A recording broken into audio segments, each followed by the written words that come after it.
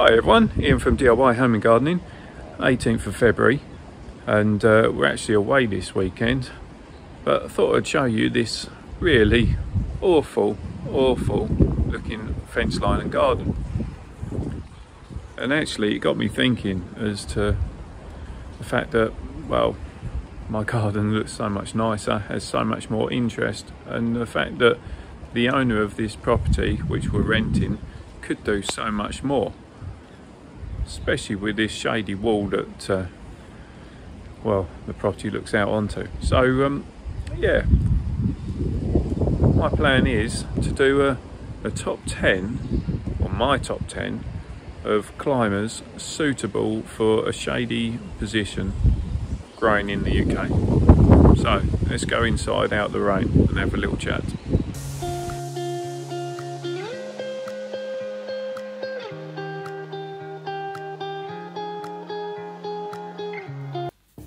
So first up, but not necessarily the best, is Trachelospermum jasminoides, common name star jasmine. Now this climber, an amazing climber um, for a light shade position. It will tolerate deep shade, but you'll get a lot less flowers. Now it's a really nice climber for being evergreen. It's pretty quick growing, has um, the best fragrance. So just think of a jasmine flower and the fragrance you get from that, and that is what Trachelospermum has, which is why it's uh, the jasminoides bit of the Trachelospermum, which is jasmine-like flower. So you actually flower from May through to the end of September, and you do notice as well, come the autumn winter time, then the foliage actually takes on this nice, rich red purple coloration um, and that sort of stays with it until you get to about the February time. Give it a good feed, and then it reverts back to being the, uh, the nice glossy green.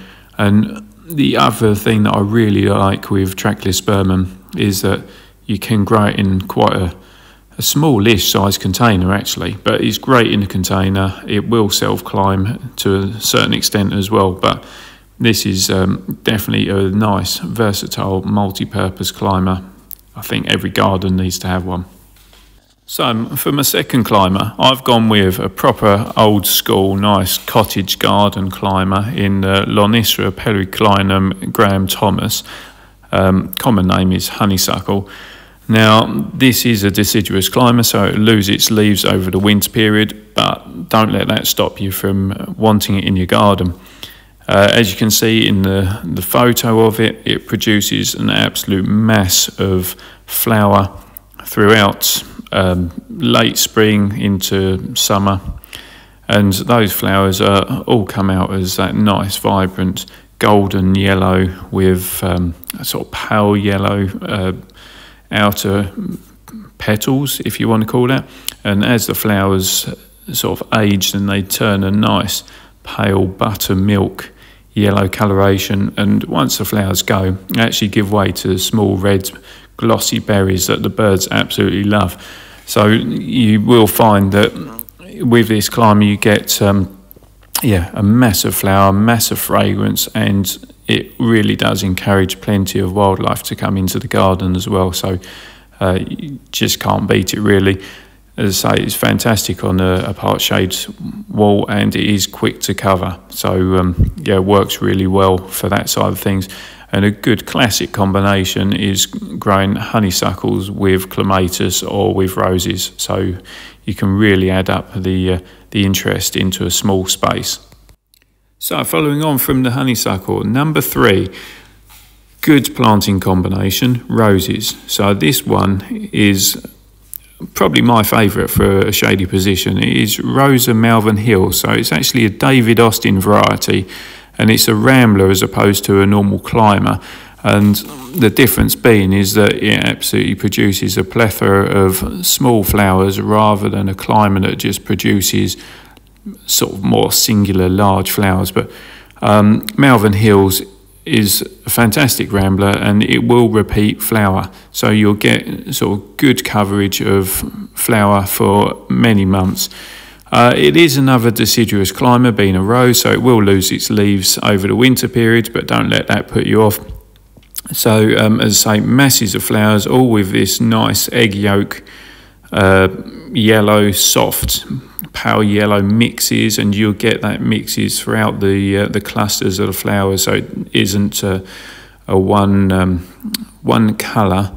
Uh, and then fading, it is a multitude of sort of these tones of the yellows, and they all have a lovely musky scent to them. So it's a real old fashioned climber and uh, very nostalgic in uh, in terms of how it makes you feel.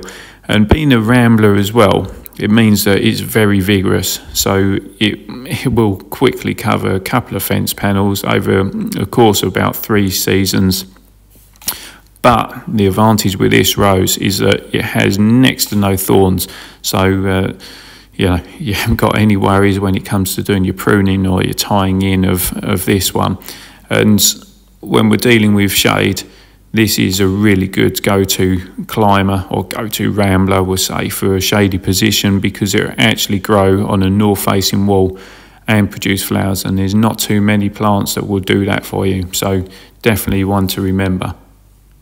So at number four, this one is quite an unusual climber, to be honest, in as much as probably not a lot of people have come across it, but it is such a great climber. It's called Akebia quinata, or chocolate vine as the uh, common name, and we'll come to the, the common name in a moment, but the, the good thing with this climber is that it's semi-evergreen, so for most of the time certainly down south of uh, England or UK, it will retain its foliage. In a harder winter, it will drop more foliage than it retains, but it's a really good, tough climber, self climbing, so or twining, I should say. So if you put some wires up or some trellis, then it will do the, the job for you. It will climb its way up through without too much fuss at all. Now, coming on to the flowers, it produces absolute um, abundance of these sort of mauvey maroon flowers. And as the common name suggests, well, they actually have a nice fragrance like chocolate. So, you know, who wouldn't want a, a, a flower that smells like chocolate? especially when it's out in spring and it, it will again it will be flowering its heart out for about six to eight weeks really vigorous um, does benefit from uh, having a good hard prune back every couple of years, but aside from that, you know, you haven't got to do anything with it at all. So, really good recommendation there.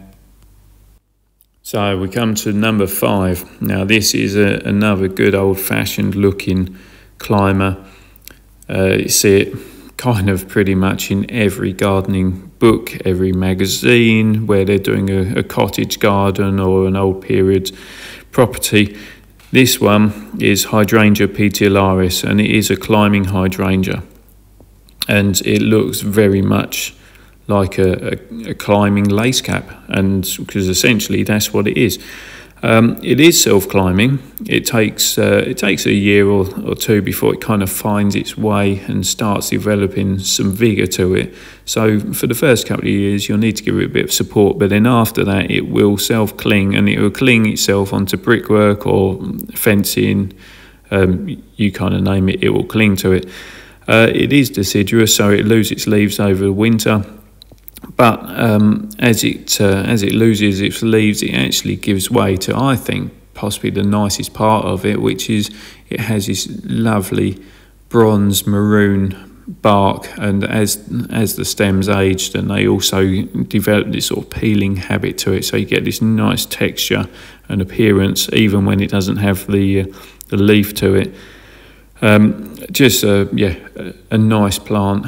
Um, nice and simple to look after. It it doesn't require loads and loads of water like a, a, typical shrub hydrangea does either. So pretty good in terms of that respect and happy to grow in a, a part shade or a fairly deep shade position. So that is also really useful. Okay, so we're on number six already. And um, well, I don't know whether you've guessed what the, uh, the plant is by the image, but it is another type of honeysuckle. Doesn't look like it, but it is. So this one is Lonicera henryi Copper Beauty. And the reason that I love this climber is the fact that, well, one, it's evergreen, so it retains its leaf all year round. But I think probably the most important thing for me is that it adds that foliage interest. You know, so many of these um, plants that are good for a shady position are always a plain green, whereas Copper Beauty has these nice copper, bronzy colour tones to it, which really helps lift sort of a, a dark area.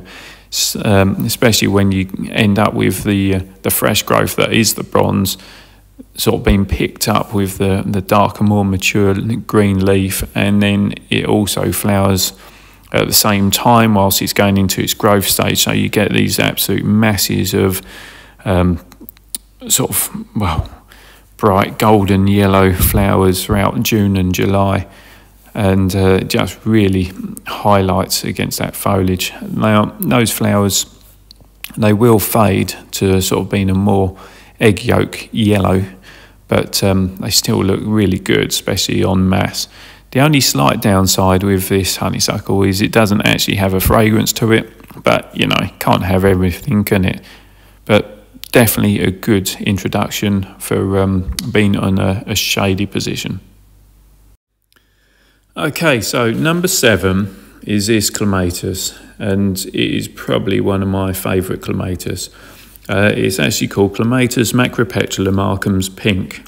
Now, I love it. It is such a good growing plant, or growing clematis for a shady position. It's fast growing. It is deciduous, which does, does mean that you won't have that leaf colour or coverage during the winter time. But that's not really um, yeah a reason not to include it. It produces absolutely masses of these candy floss pink flowers in early spring. So we're talking April and May, and then following on from those flowers, it then leaves behind these sort of nice silvery, almost spider-like seed heads. And they just hang on throughout the, the summer period, sometimes into the autumn. So you get a nice sort of, well, probably six months of um, flower and seed head interest, which you know really works well. And then together with that, the the green is a lovely soft green. So if you've got some nicer vibrant flowers sitting in front of that, then it it works really well as a, a good green backdrop. Um, so yeah, it, has got plenty going on. The other advantage with this clematis is it is self-twining, so it's quite happy to find its own way up some trellis work or some um, wires, or if you really want to make a good statement, plant it just at the base of a, a tree, like an old tree or something, or a, hedge, and you scramble its way quite happily through that tree and hedge, give you masses of flowers at sort of a good height and uh, sort of just adds a little bit more interest.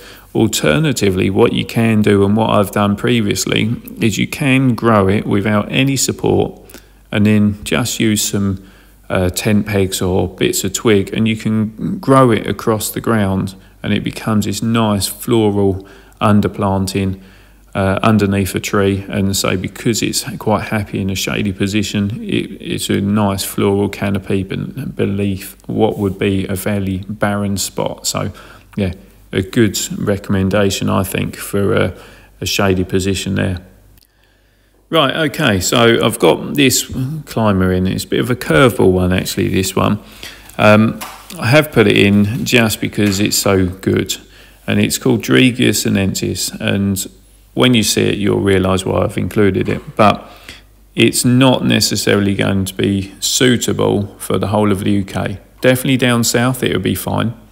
Up north, you'll need to bring it in over the winter time because it's only really tolerant of temperatures down to about minus five and it does need to have a shelter position as well. But it's such a nice climber, I just had to put it in. Um, evergreen foliage, so it retains the leaves all year round, and they have this lovely soft green appearance to the to the top side, and then this sort of grey hairy underside to them, so you get nice foliage interest, and they've actually got quite a nice sort of almost heart-shaped look about them as well. It's it is a vigorous climber. It's self-twining, so give it a bit of support and it'll find its way up. And it's going to grow upwards to the brightest spot and puts on all the flower onto the fresh growth. So that's that sort of tells you that um, if you give it a hard prune back, then you you're just going to get rewarded with plenty of flowers, and those flowers come in, uh, I suppose, sort of mid to late summer, and the flowers look really tropical. Uh, they look a bit like a Hoya plant, which is um, a house plant, but it's that sort of waxy um, um, waxy flower. It's a nice pure white, and then it has this lovely purple speckling through the throat of it, and they just have the most amazing fragrance as well. So, as I say, bit of a curveball, but if you seek this climber out or find it, then you'll understand exactly why I've put it in this uh, this video. Now, this climber you might think is a hydrangea but it isn't.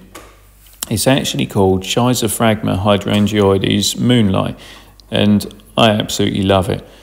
Um, the only downside I would say is that it's not that widely available, which is a real shame because it, it should really be in every garden. I think it's so good, you know, it's really tolerant of a, a deep shade position. Now, it, it is a stunning climber. It produces these lovely heart-shaped leaves that have these nice silver um, sort of undertones to them, and then they have the green veins that run through it. So it has sort of this marble effect, but the green just really makes the silver pop, just shimmers, you know. So really nice, and that um, that leaf as it goes into the, the late summer into autumns, it then develops these lovely orange yellow tones before they obviously finally drop off. Now, flower wise, clusters of flowers midsummer looks uh, very reminiscent of the hydrangea petiolaris that we saw earlier in the video. And I guess that's, you know, the hydrangeoides part of it is a you know, hydrangea like flower. Um, but yeah, it isn't a hydrangea, and I'd say it's probably tougher than a hydrangea. Um, again, it's going to take a couple of years to get established, but then after that, it's just on its way. It's uh, another good self climber, and it again, it works really well. Um, being put up a tree or on a wall where you can really show off that leaf colour and the, the flower, and say up a tree, then it gives you that nice understory planting and just kind of adds another dimension, especially if you think about putting up like a, I don't know, Acer or something where you got that lovely bark to uh, bark colour to work with as well. So yeah, definite inclusion for for me. So um, this one is my second clematis, and this is number ten.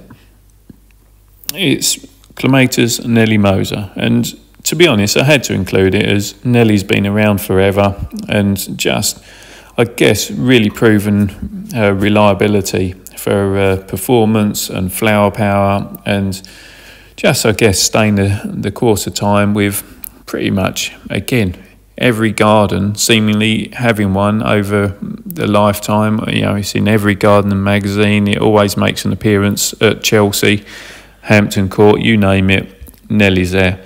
Uh, deciduous clematis, so will lose its leaves during the winter time. It's self-twining, so needs very little work to actually support it. Just give it some wire or trellis work. And actually, for most clematis, this one is is probably happiest when it's planted in a shaded position.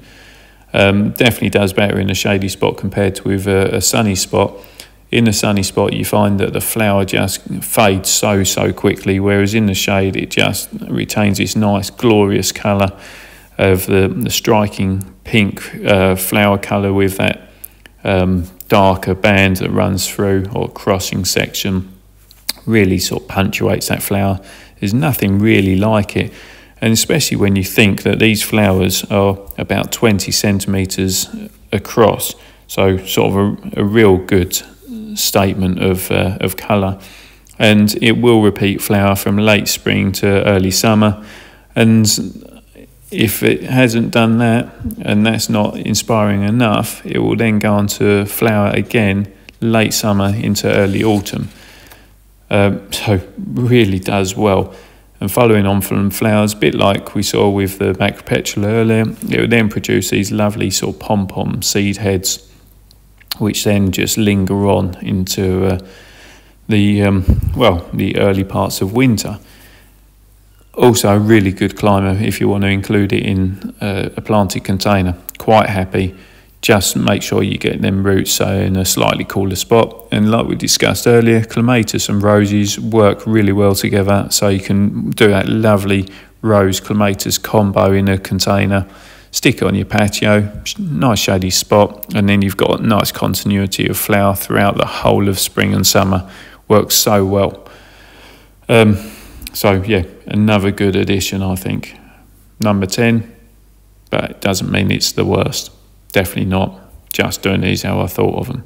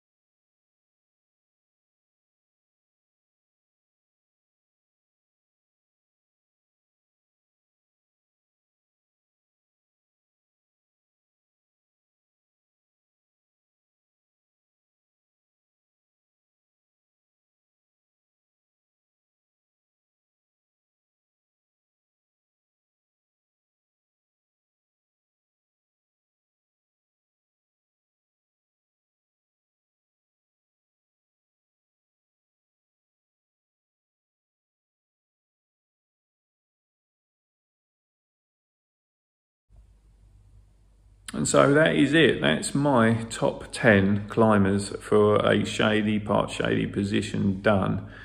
Um, yeah, filmed indoors whilst uh, it's still raining, but um, you know, hopefully adding a little bit of uh, interest and inspiration to a, fairly drab day.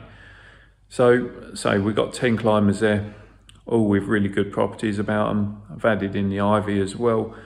But if you've got any other suggestions, then be more than happy to listen to those. I say this this video really is for the UK uh, listeners, just um, because that's where my field of knowledge is based upon. But yeah, quite happy to learn about some other climbers from around the world.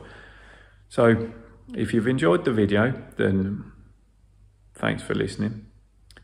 Hope you enjoyed it enough to want to subscribe to the channel. Don't forget to hit that reminder button so you don't miss out on future videos that I'm doing. And I always say it, but it's so true, just have fun, enjoy yourself, try something different. And if you find one of the climbers on this video of interest and a bit inspirational, seek it out in the garden centre or nursery, have a look and you know, maybe try it out in your own garden. See if it's all that uh, it's cracked up to be. So, till next time, bye for now.